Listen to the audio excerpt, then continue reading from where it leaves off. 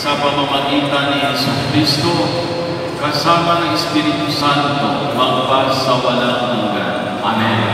Sumainyo ang Panginoon At sumayo sa lahat ng mga hinanarito ngayon sa mundo simbahan, magsiyo po kayo habang kayo pinapanalangin at kagawaran ng pagbabasbas. Almighty God, we thank you for all the mothers in the world, especially our own mothers. Bless them so that they may always give life and nourishment to their children so their firm faith, generous and selfless love, good example and constant concern for their bodily and spiritual health. Grant that we, their children, may honor them always with a spirit of profound love, respect, Pagpalain kayo ng mga Panginoon Diyos, Ama, Anak at Espiritu Santo. Amen. Happy Mothers sa lahat ng mga ina. Diyos. Amen.